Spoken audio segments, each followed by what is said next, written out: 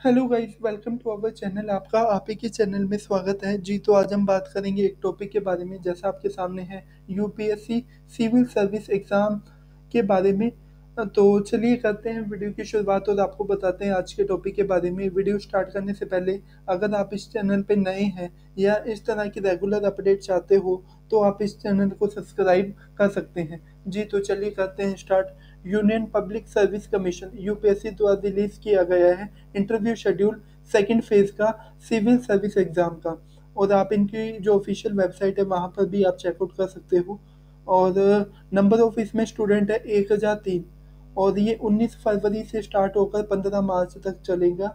According to roll number wise वो आपको timing वो आपको नोटिफिकेशन में दिखाया जाएगा। जो रिपोर्टिंग टाइम है, सुबह नौ बजे होगा। और दोपहर का जो रिपोर्टिंग टाइम है, एक बजे होगा। जी, और बाकी जो डिटेल है, वो आप जो नोटिफिकेशन में है या इनकी जो ऑफिशियल वेबसाइट है, वहाँ पर आप चेकआउट कर सकते हैं या डाउनलोड कर सकते हैं। तो यहाँ पे इंफॉर्मेशन दी गई है 19 फरवरी से लेके 15 मार्च तक।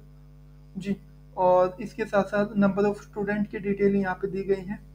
तो यहाँ पे जैसे सीरियल नंबर रोल नंबर अगर कोई भी कैंडिडेट है, उसका रोल नंबर ये है तो उसका जो इंटरव्यू डेट है वो 19 फरवरी है और जो सेशन है उस अकॉर्डिंग है। यानी कि आप ये देख सकते हो, ये विद टाइमिंग दिया गया है। और यहाँ पे आप देखोगे तो ये एक टोटल है पंद्रह मार्च तक। जी, और ये है इनकी ऑफिशियल वेबसाइट यहाँ पर आके जो इंटरव्यू शेड्यूल है आप यहाँ पे डाउनलोड कर सकते हो, देख सकते हो।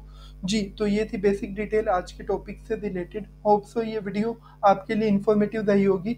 और इस नोटिफिकेशन और वेबसाइट का लिंक आपको वीडियो के एंड में डिस्क्रिप्शन में मिल जाएगा। वहाँ जाकर आप चेकआउट कर सकते हैं। आज के लिए इतना ही था। Thank you for watching